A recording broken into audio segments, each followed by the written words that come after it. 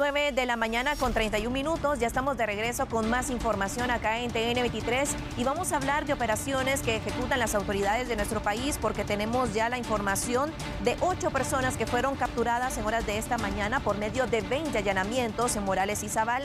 También se tiene la, la información acerca de la incautación de armas de grueso calibre y para conocer todos los detalles acerca de estas diligencias que se encuentran todavía en desarrollo, vamos a escuchar el siguiente reporte que nos ha preparado Marvin García.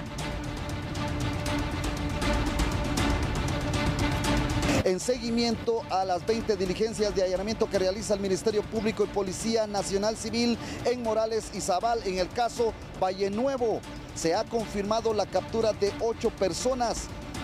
También se tiene previsto ejecutar 18 capturas.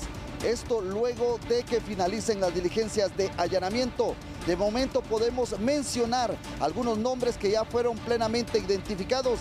Dentro de ellos está Cornelio López López, Edín Aníbal Perdomo Ortiz, Jesús Eduardo Alvarado Díaz, Juan Antonio Vázquez Suchite, Mildon Ariel Perdomo Ortiz. Son las personas ya capturadas y trasladadas a un juzgado correspondiente quien emitió sus órdenes de captura.